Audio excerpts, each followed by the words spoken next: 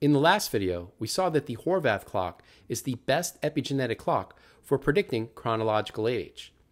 But Dunedin pace may be the best epigenetic clock for predicting the epigenetic speed of aging. And I covered this story uh, in further detail in an earlier video. So if you're interested in that, it'll be in the right corner. But for the guts of that story, we can see that here. On the y-axis, we've got the change in Dunedin pace, so the change for the epigenetic speed of aging. And then there are two groups. AL is ad lib, people who ate as much as they wanted whenever they wanted, and then CR. So in this study, this was a 12% calorie restriction, human calorie restriction study for two years. And then there were three time points baseline, 12, and 24 months after starting the intervention.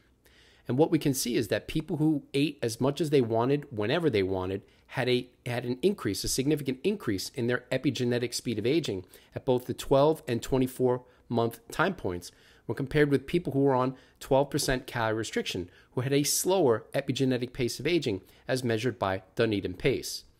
Now, the importance of that finding is that other gold standard epigenetic clocks, including Horvath, but also DNA methylation, the DNA methylation version of PhenoAge and GrimAge, were not associated with an epigenetic age reduction for people on CR for two years, which highlights Dunedin pace as potentially the best clock for measuring the epigenetic speed of aging. So, with that in mind, a major goal of the channel is to optimize biomarkers of as many organ systems as possible, even down to the molecular level, which is what epigenetic changes are indicative of. So, with that in mind, what's my data as I now have 14 tests? So, for the most recent blood test that I have data, which was on April 29th, 2024, I sent blood to TruDiagnostic. Discount link in the video's description if you want to measure Dunedin pace on your own. So for this test, I got a Dunedin pace value of 0.81. What does that mean? 0.6 is the slowest epigenetic aging rate. In contrast, 1.4 is the fastest epigenetic aging rate. So a 0.81 is on the right side of this equation, relatively slower epigenetic aging, but the goal is to get to the slowest rate of epigenetic aging, which is around 0.6. So I've got some work to do, somewhat good news, but still some work to do. Now, as I mentioned for many biomarkers, it's important to not get too high or too low, but to look at year to year changes for full context. So, with that in mind, this is just one test. Let's take a look at all test data since I started tracking this in 2022. As I, again, I have 14 tests as shown here. So, when I first started tracking over three tests in 2022, average Dunedin pace was 0.84. And then over eight tests in 2023, 0, 0.80, so a little bit better. And then after the first three tests in 2024, about the same as 2023 so far, 0.81. So what we can see from these 14 tests at worst is that Dunedin pace is mostly stable. Now, that might not be impressive.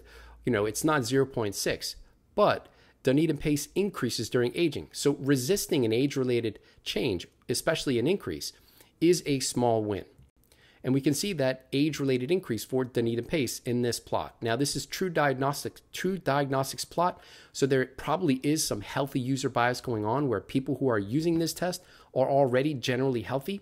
Nonetheless, we can see that Dunedin pace increases, or the epigenetic speed of aging using this test increases during aging, as indicated by the red arrow, and with Dunedin pace values on the y-axis, chronological age on the x. And then we can see that my data point at 0.81 most recently is below the average for my chronological age, so a slower speed of epigenetic aging relative to the population average for someone of my chronological age. So in terms of Dunedin pace goals, they are to achieve a 0.6, consistently achieve 0.6, the slowest epigenetic aging rate, but also to resist the age-related increase. So, so far I've got one of these that is good news, it's checked. But the other, I haven't yet optimized that. So how can I get it down to 0.6? And also, obviously, I want to resist the age-related change too. So if, for those who are unfamiliar with the channel, after every test, I calculate correlations with diet, and I detailed that full approach in the last video, so I'll put that in the right corner if you want to check it out. So for this test, I evaluated 103 comparisons for foods, macro, and micronutrients against Dunedin pace with the top half of those correlations shown here. And note that the full list for correlations, all correlations with biomarkers, are on the correlations tier on Patreon. So if you're interested in that, check it out. All right, so what we can see in the middle is the lowercase r, that's the correlation coefficient. And on the right, we've got the p-value. So less than 0.05 being a nominally significant uh, correlation. And unfortunately, though, we can see that nothing is significant using a p-value cutoff of 0.05. The closest is vitamin B6 at a p-value of 0.08. So it would seem I'm out of luck for the next test as I don't have any co- significant correlations with diet to drive the next intervention to try to improve Dunedin pace. So for now, the plan is to just collect more data. I tested eight times in 2023. I'm thinking about testing at least 10 times in 2024 to get as much data as soon as possible, to have more correlations, to potentially have enough data so that I can make further improvements. All right, that's all for now. If you're interested in more about my attempts to biohack aging, check us out on Patreon.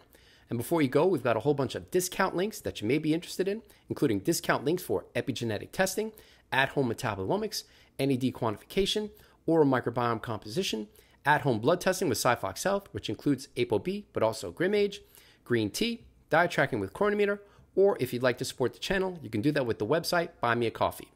We've also got merch, so if you're interested in wearing the Conquer Aging or Die Trying brand, as I've got on here, that link and all of the other links will be in the video's description.